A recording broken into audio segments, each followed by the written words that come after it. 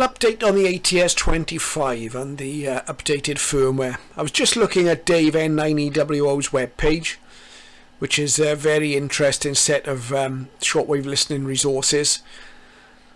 And Dave's got a little bit of information about a new version of the Bernard Binns firmware, version 4.11.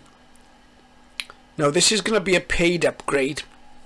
I've either read somewhere or been told via email that the the cost of this upgrade is going to be fairly minimal. So I think I'll be giving it a go. Dave gives you a link here to uh, the page that covers the updated firmware. And that takes us here. This is, uh, you know, I've pressed the translate button on Google Chrome because this page is uh, is in Russian.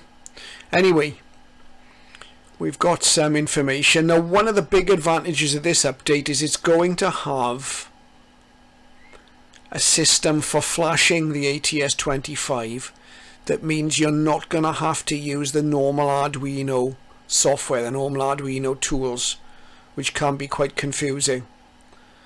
Okay, so this is going to be an easier upgrade than we've had in the past. Um, if we look at the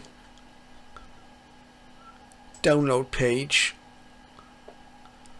there's a flash tool. There's two flash tools for different versions of Windows, I guess.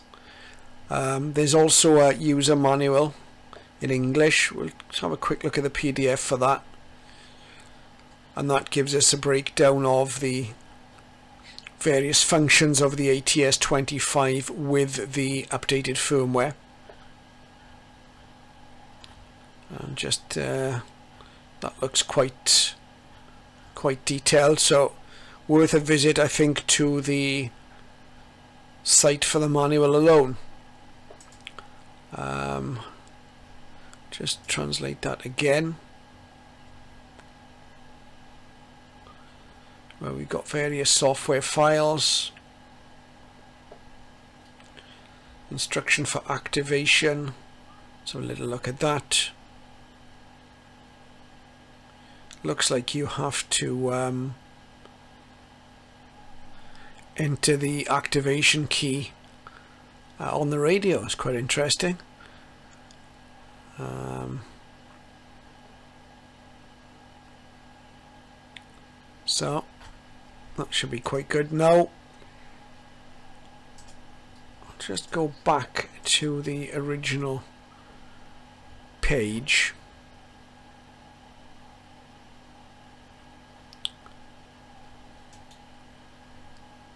I will translate that back.